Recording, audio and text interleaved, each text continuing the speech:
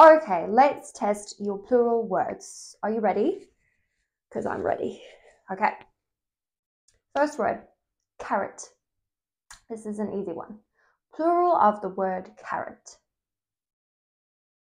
Carrots, yes. Next one, sheep. The plural word for sheep. Just sheep, yes.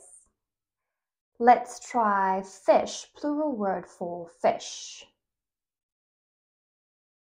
It can stay fish, or we also have fishes, but my own ears like one fish, many fish. I like it like that. Next one, cherry, plural word for cherry.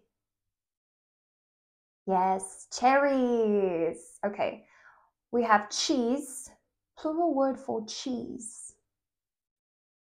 Many kinds of cheeses. Okay, that is the plural of cheese. It's cheeses. All right. I hope you had fun. Tell me in the comments if you got stuck anywhere.